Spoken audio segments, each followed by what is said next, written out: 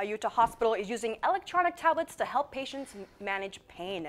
Newsline reporter Cecilee Henstrom shows us how it works and tells us more about technology's new role in medicine.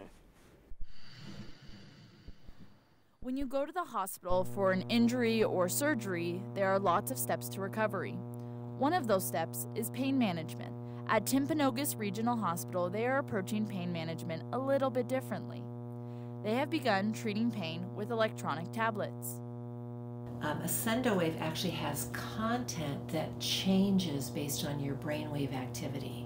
So, whatever's reducing your level of pain, whatever's calming you down and making you feel more comfortable, the content starts changing based on how you're reacting to it. Ascendowave created this technology to fight the national opioid addiction problem. They hope the technology will increase comfort and decrease pain.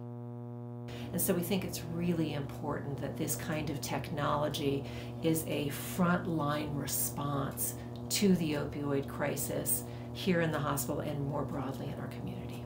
Ultimately, the inventors of Ascendowave hope to reduce the need to treat pain with opioids and instead use a multimodal approach where they use technology that monitors brain waves alongside using other medicines. So it's very evidence based. We've had more than 66,000 patients use the technology in the hospital. Ascendowave plans to implement home programs and more hospital programs like this as soon as possible.